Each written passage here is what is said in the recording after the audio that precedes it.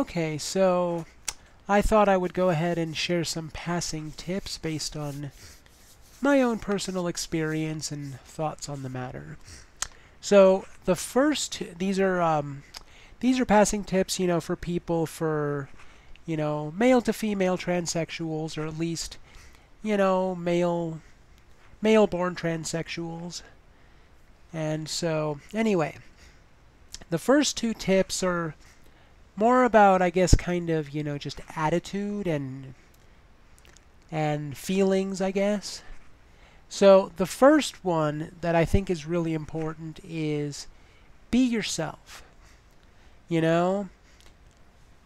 You know, if you I think it's probably fairly common for people when, you know, when they're first transitioning to maybe kind of overdo it because you know when you know when you're like a teenager and in your early 20s that's when you start to figure out who you are and what your style is and whatever. And if you didn't get that benefit of you know being a teenage girl then then you know that's something you're going to have to do maybe a little later in life. And you know so you might be trying different things to see what suits you. But also I think people they want to make it very clear to the rest of the world, you know, that they're a woman, so they might tend to overdo it and and and try to present these very, you know, like stereotypical sort of feminine signals. You know, wearing the skirts all the time and the high heels and the makeup and and and on and on, trying to be, you know, super extra girly. But the thing is, if being super extra girly is not who you are, then that's going to look out of place, you know, it's not going to look right and people it's going to make people, you know, wonder. You know, it's just the same as you look you look at somebody for example who you know is getting into say goth. You know, and they're dressing all goth and everything, but it doesn't suit them. It's not who they are, and so they kind of look out of place. But then you have other people, like you look at somebody, for example, like say Rob Zombie. And, you know, if you see Rob Zombie, you know, dressed a certain way, well, yeah, you know, Rob Zombie is a guy who's into horror movies and he's, you know, directed horror movies. So him having a more kind of goth style or whatever, that totally suits him. You know? So you got to find out what suits you. And try not to, you know, and just just be yourself whatever that happens to be. You know, part of the problem, I think, is within the trans community. I don't know how true this is now, but I know this was this was true in the past, at least in certain segments of the trans community, where there was this idea that if you weren't super girly and feminine, that you weren't a real transsexual. But the thing is, there are plenty of women who are not, you know, that girly or feminine. And so if it's okay for a cisgendered woman to be a tomboy, then what's wrong with a trans woman being a tomboy? Or maybe being just a little bit girly. You know, you don't have to be super super high fem or whatever. You know, in fact, you can be fairly butch, you know? So you need to be yourself. You know, whatever that happens to be, you know, try to, you know, figure out who you are and that's who you need to be. Don't try to be something you're not. The other the other important attitude to have is to give no fucks. Because you are going to get, you know, disapproval. You know, there you're going to get disapproval from your family, from, you know, you might get disapproval from friends. You know, you may get disapproval from, you know, other people in society you know, and you're just going to have to learn to deal with that and just to give no fucks because, you know, you're doing this for yourself, not for other people. You're doing this for your own personal happiness. And of course, you do want to be mindful of safety issues and you do you certainly do want to concern yourself with what other people think if it's a genuine safety issue, but otherwise, who cares? You know, if if somebody out there in the world sees me and they can tell that I'm trans, you know, as long as they keep it to themselves and don't make an issue of it, I don't fucking care. You know, I mean, if I can conduct myself in the world and I can use the women's bathroom and whatever without issue, I really don't care. I really don't care if some random schmo on the bus, you know, sees me and they can tell that I'm trans. I I really don't care. You know? I mean, it's really not that important for me to be perceived as 100% female by everybody. You know, and I suspect this is even going to be less of an issue when I get sex reassignment surgery because I'll be effectively female at that point. So if somebody ever did perceive me as a man, well, they would just be simply wrong. I mean, it wouldn't be much different than any other woman being perceived as as a man. So so it's really important to not care too much about what the rest of the world thinks cuz there are plenty of people in the world who don't approve of this. You know, there are plenty of people that think, you know, we're sinners and we're going to go to hell or that we're mentally ill or whatever, you know? So we need to learn to be tough and just to not not care so much about what other people think. Okay, so now now I'm going to talk more about actual physical stuff, actual more concrete stuff and not so much of the more nebulous kind of attitude stuff. So, first thing is you got to get rid of the facial hair because that's something that's a very clear gendered sign. You know, people with su substantial amounts of facial hair will get viewed as men. You know, there are women, there are, you know, females who have, you know, substantial amounts of facial hair and it's it's pretty common for people like that to get viewed as men. So got to got to deal with the facial hair. And the only two methods that are really worth a damn are laser and electrolysis. Now, laser, under FDA rules, they cannot advertise permanent hair removal, only permanent hair reduction. And so the laser can get a lot of the hairs, but it may not get all of them. And in my case, when I was doing laser, some of my hairs turned white, and the laser will not be able to get white hairs, and it's also not going to be effective with certain skin colors. But the one advantage laser does have is that the sessions are really quick. I, I was able to get, from the time I walked in the door to the time I walked out, I was able to get my neck and my entire face done in about 10 minutes. I mean, it's super quick. And, you know, and you do it, you know, once a month. So it's it's definitely a good deal. Downside though is the price. Laser is kind of expensive, but you know, what can you do? And what I've done is to take to make up for what the laser didn't take care of, I'm I'm finishing up with electrolysis. Electrolysis is the one method that can advertise permanent hair removal. Electrolysis is, you know, completely 100% effective. You know, it's just a matter of, you know, sometimes the hairs may need to be zapped more than once, but once the hair follicle is dead, it is dead and no more hair will grow back. Now, the downside to that is it's done one hair at a time. And so currently my sessions are an hour at a crack, and I've been going about once a week. And I've still got a bunch more to go, so that's you know that's that's a downside. And also the other downside is cost.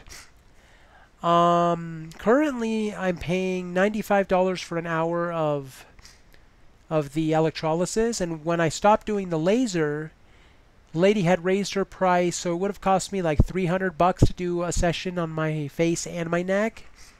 So both of these methods are not cheap, but they work. And they're really the only methods that really do work. And with either of these methods, you want to make sure you go to somebody who's competent. You know?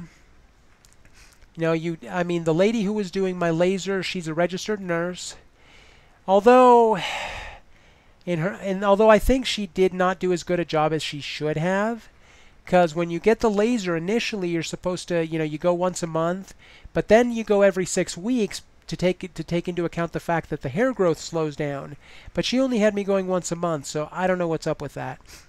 And you know I didn't bother I never bothered to complain and so at this point I'm just not even going to worry about it and just finish up with the electrolysis.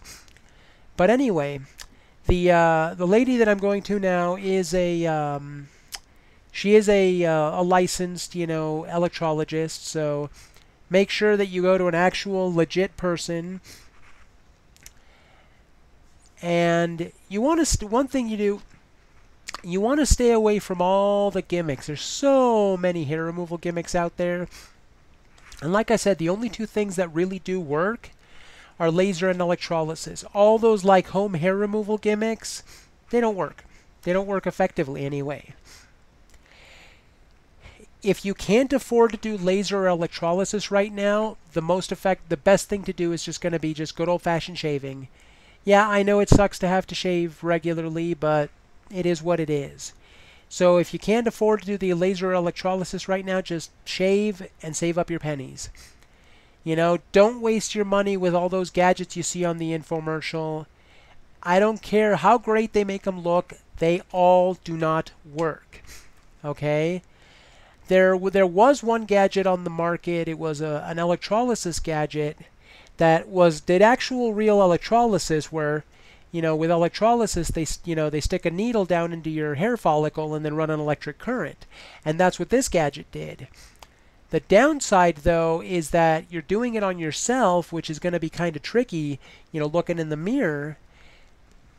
And the other thing, too, is if, say, you got a friend to do it, then you run the risk of somebody who's maybe um, not qualified to do that doing it and potentially, you know, screwing it up and you know, and causing problems. So even even with the few the few gadgets that were available that actually worked, you're still better off going to a professional because they really know what they're doing. And yeah, I know it sucks, especially when you're poor, but you know, you're just better off. Any money that you would spend on silly gadgets, you're just better off spending it on laser or electrolysis or both. Okay. The next thing you want to do is you're going to want to go on hormones because hormones will cause, you know, um, secondary sex characteristics changes. So, you know, breast growth and you'll get some redistribution of fat on your body, including on your face. And the younger you are when you start the hormones, the more effective it is. Like you look at some of these trans women who have started, you know, say transitioning in when they're teenagers or in their early 20s, and they've gotten really wonderful effects from the hormones and they look really good. So, yeah, hormones are a definite must. And I think they've, they've definitely made a difference in my case. They certainly do.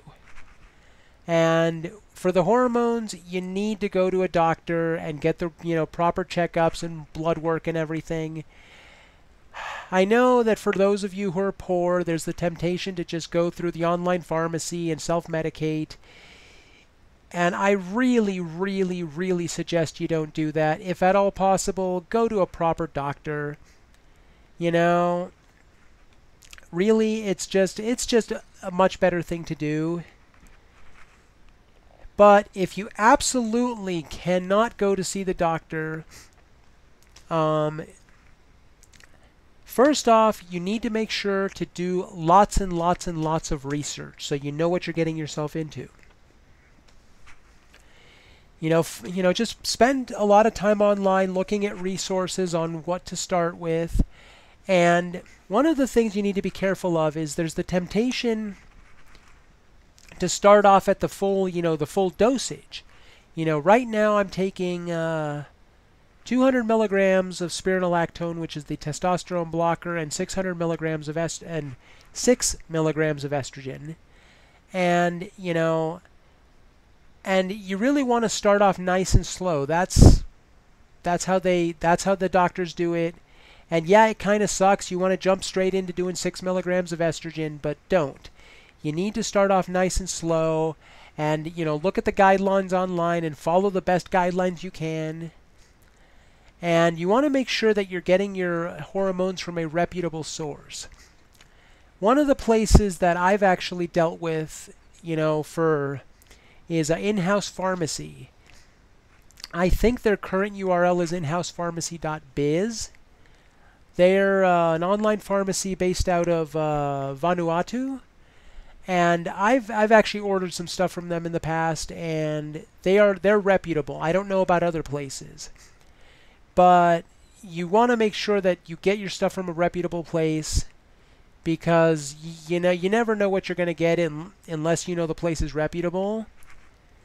And but ideally, like I said, you really ought to go to a regular doctor if at all possible. But if you can't, you know, just be as safe as you possibly can. And you want to make sure that you avoid things like smoking while you're on hormones because that could lead to heart disease. That could lead to deep vein thrombosis, you know, where you get a, like a blood clot in your leg and then the blood clot can break free and you can end up with a pulmonary embolism or a stroke or whatever, and that would be bad. So yeah, get on hormones and make sure that you do it safely. You know, and keep in mind that the hormones take time. You're not going to get magical results overnight. It's going to take several months before you really start noticing results. And yeah, I know it sucks and you're going to be impatient, but just stick with it and make sure to take your hormones as prescribed every single day. Okay, the next thing, and this is one that's super important, and I don't think enough emphasis is on this is uh, placed in the trans community. And that is you want to develop a female voice. Because I don't care how great you look, if you open your mouth and you sound like a man, people are going to read you as a man. That's all there is to it. And some people get tempted, you know, to do things like uh, getting vocal cord surgery. That's something that Caitlyn Jenner mentioned looking into. And I will tell you right now, vocal cord surgery is a really, really, really bad idea, and there's no reason to do it. It is possible for a male to sound like a female without the use of surgery. The trick is to the tr the trick is just to, to use only the bottom half of your vocal cords because you see males have longer vocal cords than females and so like when when females go on testosterone, it lengthens their vocal cords and that's why you trans men sound like men instead of sounding like women. So the trick is for us to just use the bottom half of our vocal cords. And I used a technique discovered by uh, Melanie Anne Phillips. And I will put a link to her website in the video description so you can check out her information and just, you know, she's got some DVDs you can order, but I just used the information she had up on her website years ago, and I'm guessing that's the same information these days. So check her stuff out and uh, so and give it a try. And you know, it's the kind of thing that just takes practice, but you definitely want to put the time into practice. And if you're in a situation where, you know, having a female voice 24-7 might be a bit of a problem, you want to make sure to practice at times when you have a lot of time where you can where where it'd be okay for you to do a female voice because when you first develop a female voice, it's possible that your voice might get stuck like that. You know, and if you're in a situation where you really can't be talking like a female all the time, you know, you're going to need to, you know, to have some time to let your voice relax and go back to where it was. But once but once you've developed the voice, then, you know, and you've really gotten it down, then you can just switch back and forth, you know, at the drop of a hat. So let me give you a little demonstration. So I can be sounding like my voice right now, and I can easily, just at the drop of a hat, I can change my voice and I can sound the way I used to. As you can see, my old voice sounded a little different. So, and then of course, like I was just able to switch right back to a female voice. And I've noticed that occasionally my voice still slips a little bit. So what I do when I feel my voice slipping, I just do a 10 count. And I might, you know, like put my fingers, two of my fingers on my neck to feel the vibrations on my vocal cords to make sure that I get little to no vibration on the top half of my vocal cord. So I'll just so I'll just count like this. One, two, three, four, five, six, seven, eight, nine, ten. And my voice is a little off right now, but it's alright. And so I believe that developing a female voice has been one of the most important things for me because my appearance is not 100%. I'm sure there are plenty of people that kind of wonder or maybe think that maybe I am a man or whatever. But if I'm dealing with somebody and I open my mouth and I sound like a woman, because most people don't realize that it's possible for males to sound like females, they're just going to assume that I'm female because I sound like one. And that's going to help offset anything about my appearance that's maybe a little bit off. So, so yeah. Oh, and another thing about female voice, it it's not about pitch. A lot of people think it's all about raising your pitch. It's not. Now, when you switch to a female voice, your pitch may go up a little bit naturally, but it's not about having a higher pitch because there are plenty of females with lower pitched voices, but they don't sound like men. I can lower my pitch down, but I don't sound like a man. I just sound like a woman with a lower pitched voice. And some people find lower pitched voices in women rather sexy. So, yeah, it's not about pitch. Like if you've ever noticed like, you know, say a man trying to sound like a chick and and he just raises his pitch, he doesn't sound like a woman, he just sounds like a man speaking in a high-pitched voice. So yeah, the voice is absolutely critical. I think that's one of the most important things because that makes a huge difference. You know, you want to get you want to get your voice to the point where when you're dealing with somebody on the phone and they have no other markers to go by except your voice, you will get called ma'am 100% of the time. That's the goal. Okay? So, now I'm going to talk a little bit about maybe things that you should avoid doing. You want to be careful with your appearance about making your appearance too extreme. Because really what you want is you just kind of want to be a regular chick, you know? You don't want to stand out. You know, you want to, if your appearance is going to be significantly different from the rest of the women where you live, you're going to stand out, you're going to draw attention to yourself, and people are most likely to, you know, to read you as a man. You know, if you know, if you look like you ought to be in a drag show, then you might want to tone it down. You know? And you know, if you're the genderqueer sort of person and you want to you know, you want to express the more, you know, gender fluid or whatever part of yourself, well, just keep in mind that if you're dressing in ways that are more more likely to transgress gender norms, depending on where you live, that's something that might stand out and people are going to be more likely to to notice that you're you're a dude. So you might so you might want to be careful with that. And you know maybe just spend some time observing like the women in your area like what do just regular old women look like? I mean currently i'm actually dressing you know kind of like a bit of a tomboy you know? I've just been doing you know i've just been doing you know like jeans and a t-shirt oh and one of the things i for you know as far as um your clothing goes i think it definitely helps that even if you are just going to do something like jeans and a t-shirt I think it definitely helps to do women's clothing. Like take t-shirts for example. Men's t-shirts tend to have the same kind of neck style, you know, a little crew neck or whatever. I personally like v-necks. And so by wearing a style a neck style that's not common on men's shirts, that kind of adds a sort of a feminine touch without being overly girly, you know? And you know, cuz because we still live in a society where people tend to shop for clothing that is directed at whatever sex they are. So, you know, men will generally buy men's clothing and women will generally buy women's clothing. Even for the same type of item, whether it's a t-shirt, a jeans, or whatever.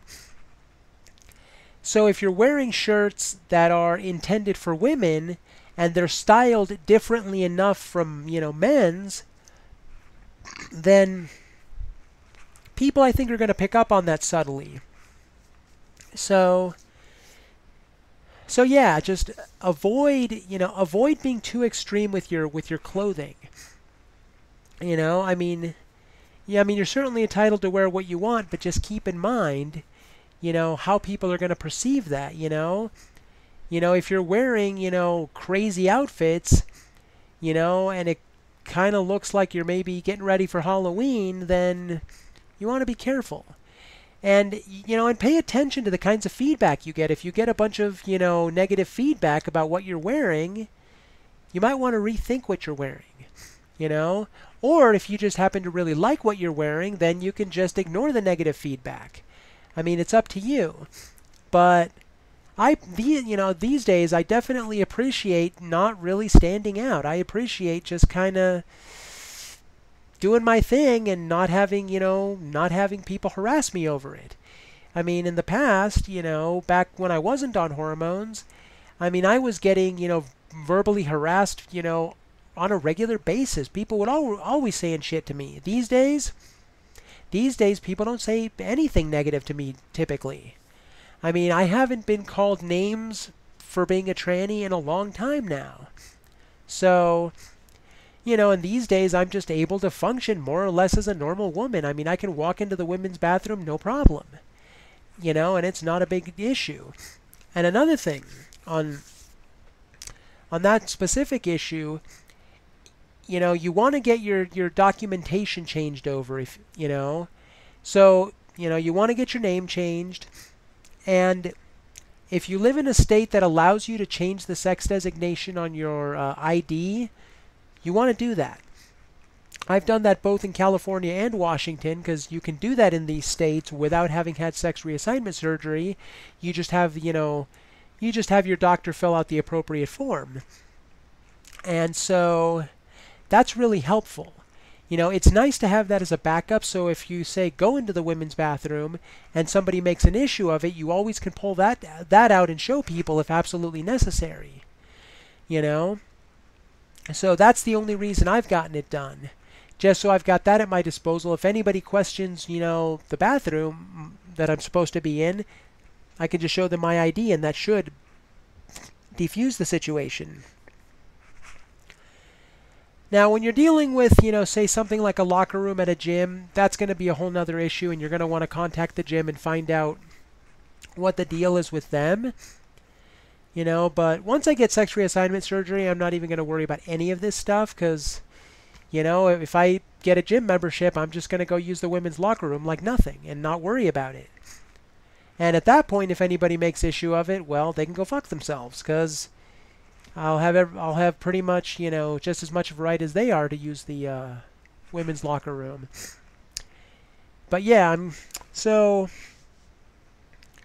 so I hope I hope I hope these tips are, are useful to people, and I may go ahead and make some uh, videos in the future. But just to kind of recap, you know, you want to just be yourself. You know, I mean, be yourself. Don't try to be something you're not, because it's gonna look out of place. You know, give no fucks. Don't don't worry too much about what other people think. You're doing this for yourself, not for other people and you want to get rid of the facial hair and use actual proven methods like laser and electrolysis. Stay away from the gimmicks. Go on hormones and preferably, you know, from a doctor. and one of the most important is is you need to develop a female voice because that's super super critical, I think. And also just don't get too crazy with your appearance, you know? I mean, because you don't want to draw unnecessary attention to yourself. So, yeah. So I guess I guess that'll do it, and I may go ahead and revisit this issue at some point in the future. And if anybody, if any other trans people have any any suggestions and maybe tips that have worked for them, please feel free to share them in the comment section. And as always, my comment section will be open to anybody, and I generally don't censor people, so go ahead and say whatever you want. And I guess that'll that'll do it for now.